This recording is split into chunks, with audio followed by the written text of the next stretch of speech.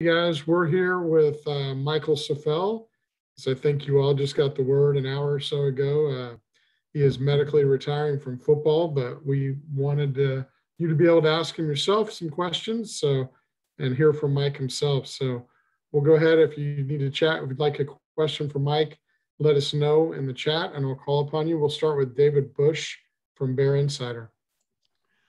Hello, Michael. Um, just the timing of this, was it something that just happened that caused you to make this decision or is it something that's been building up? Just kind of walk us through that a little bit. Yeah, you know, uh, the first signs of this injury, uh, injury was in 2020, and uh, I had to fight back to get back to there. Um, believe it or not, just get back to the 2020 season, uh, and then had uh, was healthy for 2020 and healthy into the spring, and then um, had a, had another little issue with it, and um, this time it was maybe a little bit more significant, and um, kind of went all over to get the support I needed. Um, took it to the limit, found every person that I could ever need to to help me make the decision, give me the right information, and that kind of led us to the decision today. So it's definitely been one that's building for a while, and uh, but once we had the the right information on it, uh, it was the right time to pull the trigger. Is it the same injury that's been recurring, or is it different parts? It's been the same injury that's reoccurring. You know, I've had a lot of injuries over my career. Right. Um, you know, I've had ankles and knees and every you you name it, I've had it. Um, and I've struggled through them all and got back and always had the support I need. This one's a little bit more significant and uh, you know, it's been a battle the last two years. I'll just keep it at that. It's been a real battle and a real fight, both mentally and physically, to get back. And I've been doing it because I love this team and I freaking love Cal football and I love you guys and being part of it. And uh, there's no better place in the entire world. I know that. So I would give everything to do it. But uh, we got the final information um, from the doctors and the trainers. And um, once I had all the information in front of me, uh, it became a little bit more uh, of an easy decision. Okay, thanks. Thank you, David. Okay, we'll move to Jake Curtis from um, Cal Sports Report. Yeah, Mike, could you specify which injury it is? Was it the ankle or the knee that that that caused the ultimate? Yeah, I've, I've had a back injury. Uh, in 2020, I had a back injury that happened, and I had to get surgery on it um, just in order to play for 2020.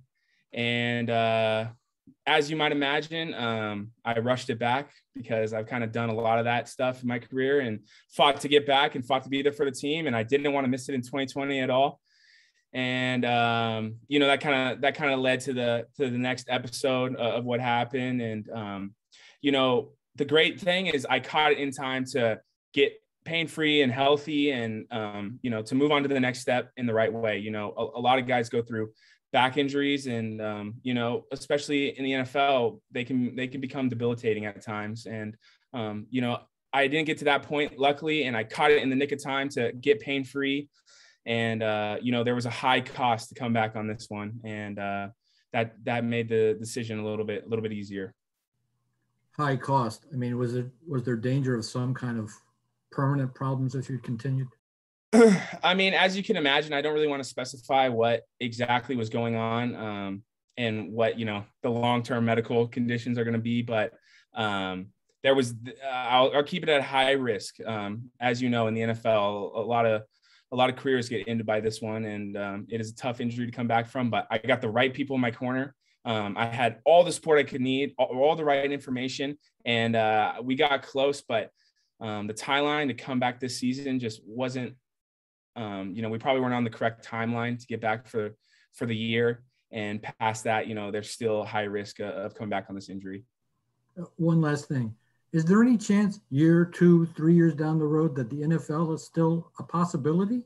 Yeah, I think uh, you know we talked about that. I talked about that with Coach Wilcox and all the guys. And um, after getting eh, after getting the information and everything put in front of me, um, it just seems like the right time to walk away. You know, I've already I've had the knee surgery and I've had the back surgery, and you know I'm only in college right now, so um, once I had all that information of what it looked like moving forward, what the timeline of rehab for the rest of my life looked like, um, it, it, was a good time to it was a good time for me to step away from the game. So, uh, with that being said, I'll I'll be completely done to answer your question.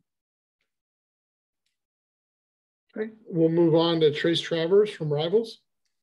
Yeah, Mike, good to see you. Wish it was under better circumstances. Um, that's right. That's right. Always hope you're doing well. Um, just what what do you feel like your next step is? I know you're working on the master's degree right now. Yeah, um, you know, I'm taking. I, I just got back home, back to Huntington Beach to take some time with my family and really get things sorted out. Thank God I went to Cal. Is all I can say in this medical retirement because it's a it's a really good spot to be in once you do medically retire and you have that uh, business degree. And you know, I took a call from Bob Haas right after you know I made the announcement to him, and that's a good spot to be in. And that that made it easier having all these Cal connections and um, the academics is no joke here and I'm so blessed that I got to be part of it and got to get the degree and to move on and got all the support I, I could ever have. So um, the next steps are still a little unclear. Um, you know, I'll still be in school. So me and Coach Wilcox kind of hashing some stuff out, what we could do, and um, professionally, still trying to figure that out.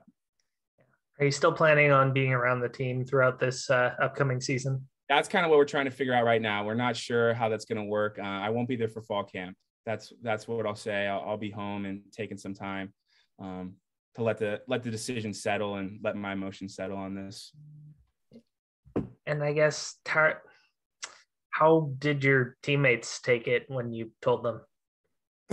you know, this has been a tough injury and it's been a tough road of injuries for me. And um, you know, I've kind of as much time as I've spent playing, I've spent behind the scenes rehabbing injuries to get back on the field. And um, you know, I've been a warrior through all of them, and um, I'm not a guy that takes no uh, as an easy answer, you know. And I'm I assure um, you guys and the teammates that I went everywhere to try to figure this out. Went to everyone to try to rehab. Went international to find doctors to talk to and to get this injury on track. And um, once I got the people in my circle that I trusted, um, and everyone was surrounded by me, giving me the the right information on it uh, it, it was the right decision and my team completely supported it because you know they've seen what i've gone through and they've seen how i've battled and um, you know the great thing about our team is a lot of guys have done the same thing um, and we have a lot of guys that are making huge sacrifices to be out there uh, every game and uh, we're going to have a pretty sweet team this year i can i can guarantee that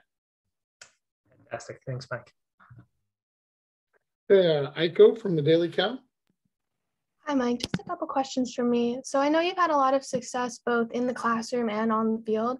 So how have you learned to maintain that balance throughout your time as a student athlete? I go, that was the best question that I've heard. That was awesome. Thank you so much. That was an incredible question. Um, uh, wow. Thank you for the question. Uh, I just, Cal is a really special place. And that's, that's kind of what I want to hammer on, on this interview and, um, and what I was saying, everything on the retirement. Um, Cal is unbelievably special. It is the best place to be in the world. I'm sure you guys feel that, and I'm sure that that's why you guys love being around here. Um, the students and the campus is infectious, um, and it, it is a fun, awesome place to be.